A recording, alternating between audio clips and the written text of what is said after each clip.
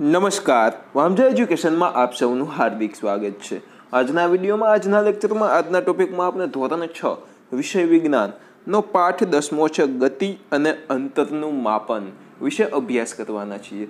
ચાલુ કરતા પહેલાં જો તમે આ ચેનલને સબસ્ક્રાઇબ ન કરી તો સબસ્ક્રાઇબ કરીને બે લાઇકન દબાવો વિડીયોને લાઇક કરો તથા તમામ મિત્રો સુધી જરૂરથી આ વિડીયોને શેર કરો. ચાલો, ચાલુ કરીએ આપણું ધોરણ છ, વિષય વિજ્ઞાનનો પાઠ દસમો, ગતિ અને અંતરનું માપન. સ્વાધ્યાય આપણે આખો પાઠ જોવાના છીએ અને દરેક વસ્તુને ડિટેલમાં સમજવાની કોશિશ કરીશું. એટલે મહેરબાની કરીને વિડીયોને આખો જોજો. સૌ પ્રથમ પ્રશ્ન છે એમસીક્યુ, વૈકલ્પિક પ્રશ્નો મલ્ટિપલ ચોઇસ ક્વેશ્ચન ટાઈપના પ્રશ્નો. જોઈ લઈ પહેલો પ્રશ્ન.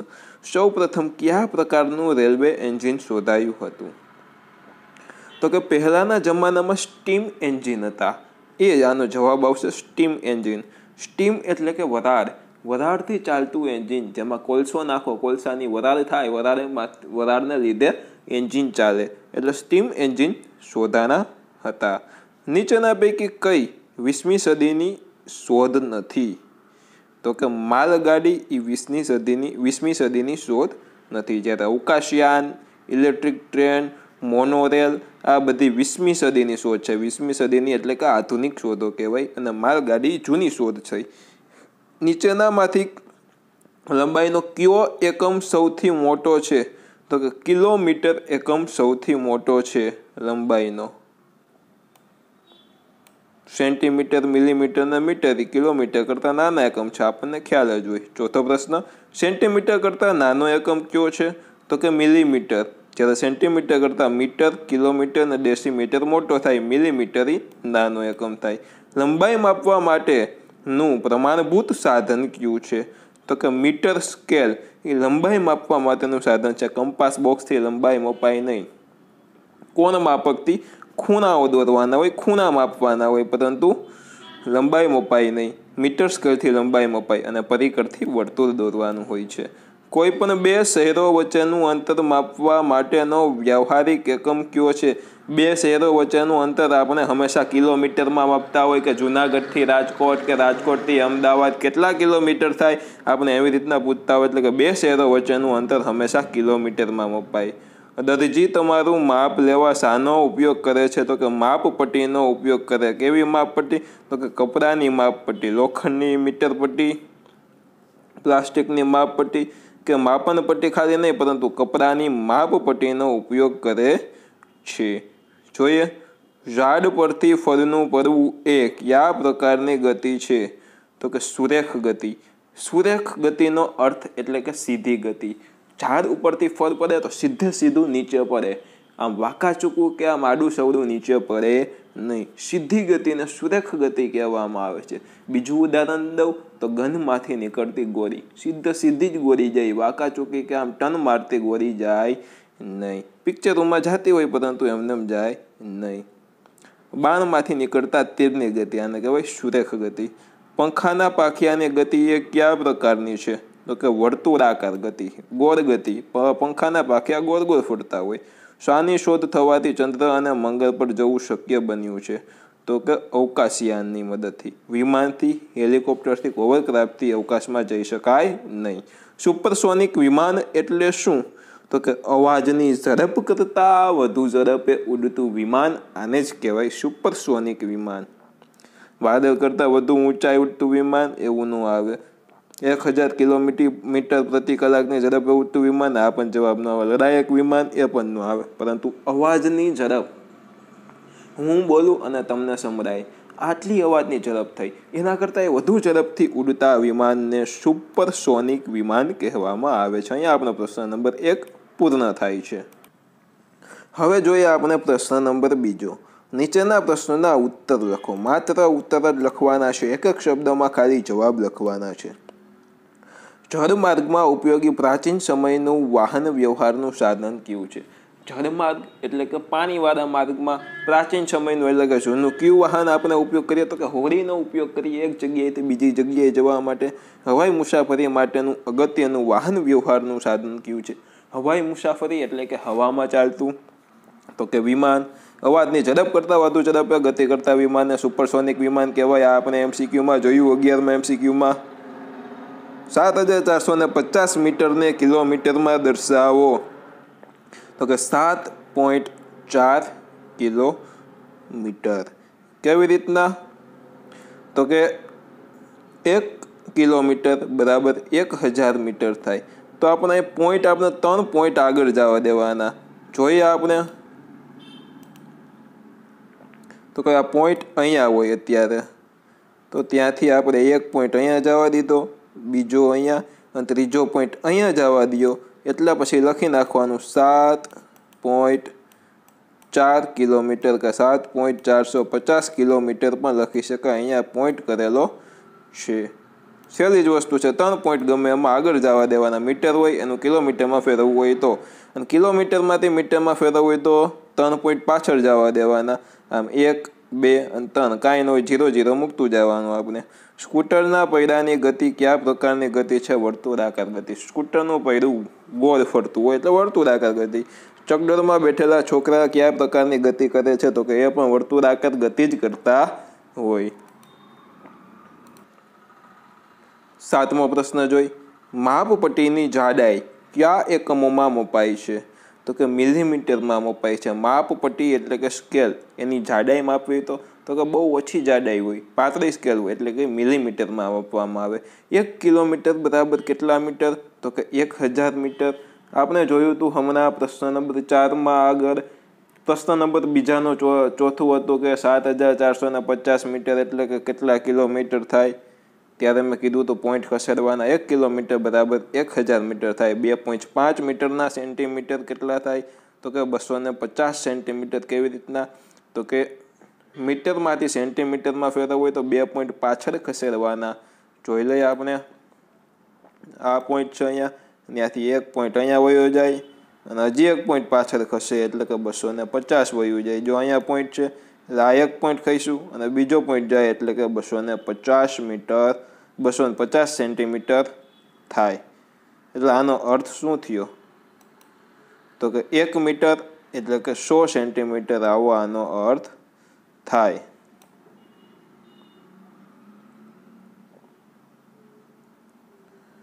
એક પોઈન્ટ પાસઠ મીટરના સેન્ટીમીટર કેટલા થાય. મીટરમાંથી ફરી પાછું સેન્ટીમીટરમાં ફેરવવાનું છે. બે પોઈન્ટ પાછળ ખસેડતા શીખીએ. તો કે પોઈન્ટ અહીંયા છે. આ એક પોઈન્ટ પાછળ ખઈશો. આ બીજો પોઈન્ટ પાછળ ખઈશો. એટલે કે એકસો ને પાસઠ સેન્ટીમીટર આવો અર્થ થાય.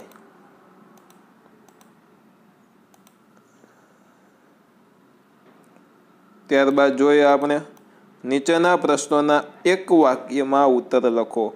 એક એક વાક્યમાં જવાબ લખવાના. એક્ઝામમાં પ્રશ્ન પૂછે તો એક ગુણનો હોય. જો છઠ્ઠા ધોરણમાં અભ્યાસ કરતા હોય તો કોમ્પિટિટિવ એક્ઝામવાળા વીડિયો જોતા હોય તો એમાં તો એમસીક્યુ જ પૂછે છે. તમને ખબર જ છે કેટલા માર્કનું હોય?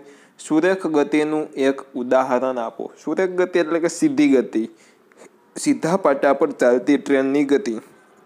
આ સુરેખ ગતિનું ઉદાહરણ છે. ટેક ઓફ કરતા વિમાનની ગતિ.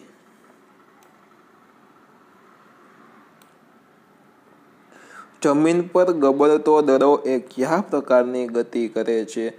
જમીન પર જે દડો ગબડે એ ગોળ ગોળે ફરતો હોય અને સીધી દિશામાં પણ જતો હોય. તો જમીન પર ગબડતો દડો એ સુરેખ ગતિ સીધી દિશામાં જતો હોય એટલે કે સુરેખ ગતિ તેમજ ગોળ ગોળ ફરતો હોય એટલે કે વર્તુળાકાર ગતિ પણ કરે છે. સુરેખ અને તેમજ વર્તુળાકાર આ બંને ગતિ કરે છે. પ્રશ્ન એવો ફેરવીને પૂછે કે સૂર્ય ગતિ અને વર્તુળાકાર બંને ગતિ એક સાથે કરતા વસ્તુનું ઉદાહરણ આપો તો આપણે લખવાનું કે જમીન પર ગબડતો દરો. યાદ રાખજો. ત્યારબાદ ઘડિયાળના કાંટા પર, કાંટા કયા પ્રકારની ગતિ કરે છે? તો કે ઘડિયાળના કાંટા વર્તુળાકાર ગતિ કરે છે. એ હંમેશા ગોળ ગોળ જ ફરતા હોય. પહેલાંના સમયમાં લોકો લંબાઈ માપવા માટે શાનો ઉપયોગ કરતા. તો મિત્રો પહેલાંના સમયમાં લોકો લંબાઈ માપવા માટે પોતાના શરીરના અંગોનો ઉપયોગ કરતા. કેવા અંગો? તો કે આંગળીઓ, મુઠ્ઠી વેત હાથ, પગલાંના ઉપયોગ કરતા. ત્યારબાદ કાપડનો વેપારી કાપડ માપવા માટે શાનો ઉપયોગ કરે છે. તો કે કાપડનો વેપારી કાપડ માપવા માટે લોખંડની પટ્ટીથી બનેલી મીટર પટ્ટીનો ઉપયોગ કરે છે. લોખંડની મીટર પટ્ટી હોય છે, તેમનો ઉપયોગ કરે છે. હવે જોઈએ આપણે પ્રશ્ન નંબર ચાર. નીચેના પ્રશ્નોના ટૂંકમાં ઉત્તર લખો. દરેક પ્રશ્નોના બે માર્ક હોય. બે માર્કનો તમને એક્ઝામમાં પ્રશ્ન પૂછે. પેલું જોઈ, વેત, હાથ અને પગલાં જેવા માપથી વસ્તુની લંબાઈ ચોકસાઈપૂર્વક માપી શકાય નહીં તે સમજાવો. આપણા વેત છે, હાથ છે કે પગથી ચોકસાઈપૂર્વક આપણે લંબાઈ માપી શકતા નથી સમજાવવાનું છે. શું કામ ન માપી શકીએ? તો કે જુદી જુદી વ્યક્તિઓના વેત, હાથ અને પગલાંના માપ જુદા જુદા હોય છે. કોકની આંગળી મોટી હોય તો વેત પણ એના મોટા થાય. કોકના હાથ મોટા હોય તો હાથ મોટા થાય. બીજાના હાથ નાના હોય તો એના નાના હાથ થાય. પગલાં ઘણા એના મોટા હોય, ઊંચા વ્યક્તિ હોય તો પગલાં મોટા હોય, નાના વ્યક્તિ હોય તો પગલાં થોડાક નાના થાય. એટલે દરેક વ્યક્તિના હાથના વેતના પગલાંના માપ જુદા જુદા હોય છે. કેટલાક વ્યક્તિના હાથ અને પગ ટૂંકા તો કેટલાક વ્યક્તિના હાથ અને પગ લાંબા છે. આથી તેમની વેતની વેતથી હાથથી કે પગલાંથી માપેલી લંબાઈ જુદી જુદી હોય છે. તેથી વસ્તુની લંબાઈ ચોકસાઈપૂર્વક માપી શકાતી નથી. જોયો પ્રશ્ન નંબર બે. લંબાઈના માપનો સર્વસામાન્ય એકમ શા માટે જરૂરી બન્યો? સર્વસામાન્ય એટલે કે બધી જગ્યાએ સરખો એવો એકમ શા માટે જરૂરી બન્યો છે? તો કે પહેલાંના સમયમાં લોકો લંબાઈનું માપ લેવા માટે આંગળ વેત કે ડગલાનો ઉપયોગ કરતા હતા. પરંતુ જુદા જુદા માણસની આંગળીની જાડાઈ, વેટની લંબાઈ, હાથની લંબાઈ અને ડગલાની લંબાઈ એક સરખી હોતી નથી. આથી જુદા જુદા માણસો એક જ વસ્તુની લંબાઈ કોઈ પણ વ્યક્તિ માપે, તો પણ તેમનું માપ એક જ સરખું મળે. આથી લંબાઈના માપનો સર્વસામાન્ય એકમ જરૂરી બન્યો છે. ફરી પાછું એક મારી ભાષામાં કહું. કે સર્વસામાન્ય એકમ એટલે શું? તો કે હું માપું, તો પણ એનો સરખું જ માપ નીકળે. તમે માપો, તો પણ એ જ સરખું જ માપ નીકળે. જો આપણે વેતથી કે ડગલાથી કે વસ્તુ માપતા હોય, તો મારું વેત અને તમારા મારા ડગલા એ તમારા વેત અને તમારા ડગલા કરતાં અલગ માપ હોય. તમે નાના હોય તો તમારા ડગલા પણ નાના હોય અને મારી હાઇટ મોટી હોય તો મારા ડગલા પણ મારી હાઇટ જેવડા. એટલે કે મારા એ પ્રમાણમાં મોટા તમારા કરતાં મોટા હોય. તો મિત્રો, એવો એકમ કે હું માપું તમે માપો, બંનેને સરખો જ એકમ મળે, સરખું જ માપ મળે. એટલા માટે આ સર્વસામાન્ય એકમની જરૂર, એકમ જરૂરી બન્યો છે. ત્યારબાદ જોઈએ આપણે. મેં ત્યારબાદ આવે પ્રશ્ન નંબર ત્રીજો, પરંતુ પ્રશ્ન નંબર ત્રીજો આમાં લખેલો નથી.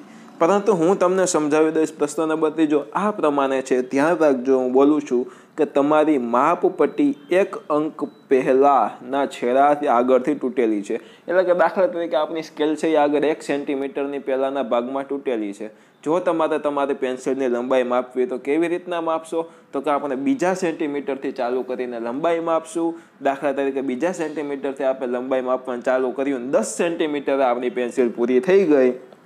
તો આપણે પાછળથી એક આંકડો બાદ કરી દેશું કારણ કે બીજા માપથી ચાલુ કર્યું છે, એક આંકડો આપણે વધારી દેશું. બીજા માપથી, નહીં સોરી બાદ કરી દેશું આપણે. બીજા માપથી ચાલુ કર્યું છે, એટલે થોડીક એક આંકડો બાદ કરી દેવાનો, એટલે કે આપણે નવ સેન્ટીમીટર આપણા પેન્સિલની લંબાઈ થાય. આકૃતિ દોરીને તમને સમજાવું. તો મિત્રો, અહીંયા આ એક સેન્ટીમીટર હોય. આ સ્કેલ છે, આ સીધી પટ્ટી છે, એ સ્કેલ છે. સીધી તો નથી, પરંતુ સીધી તમારે ગણી લેવાની. આ એક સેન્ટીમીટર પરંતુ અહીંયા તૂટી ગયો છે ભાગ. અહીંયા બીજું સેન્ટીમીટર છે, ત્રીજું, ચોથો, પાંચ, છ, સાત, આઠ, નવ અને દસ. આ દસ સેન્ટીમીટર છે. હવે મિત્રો આપણે ઉપર પેન્સિલ રાખીએ છીએ. આ આટલી આપણી સ્કેલ તૂટી ગઈ છે. અહીંયાથી આપણી સ્કેલ તૂટી ગઈ છે. તો અહીંયા બીજું સેન્ટીમીટર છે, અહીંયા ત્રીજું સેન્ટીમીટર છે, અહીંયા ચાર સેન્ટીમીટર, પાંચ, છ, સાત, આઠ, નવ, દસ.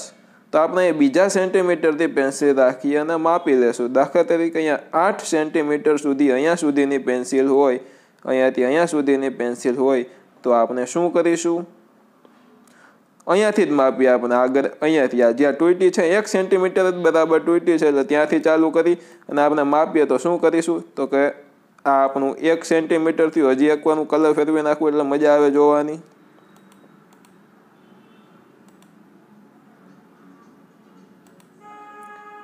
તો કે આ આપણું એક સેન્ટીમીટર થયું.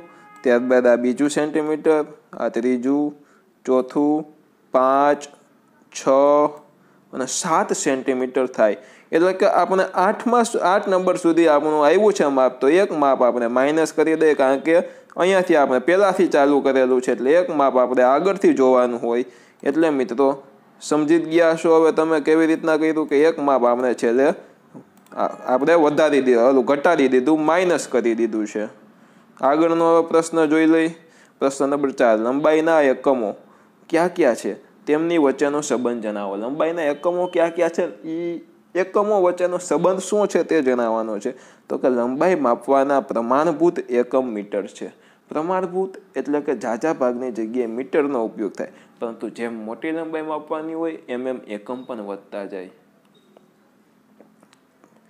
તો કે લંબાઈના મીટરથી નાના એકમો સેન્ટીમીટર અને મિલીમીટર છે અને લંબાઈનો મોટો એકમ એ કિલોમીટર છે. લંબાઈના એકમો વચ્ચેના સંબંધો નીચે મુજબ છે. તો કે એક સેન્ટીમીટર બરાબર દસ મિલીમીટર. એટલે કે દસ મિલીમીટર ભેગા થાય ત્યારે એક સેન્ટીમીટર થાય.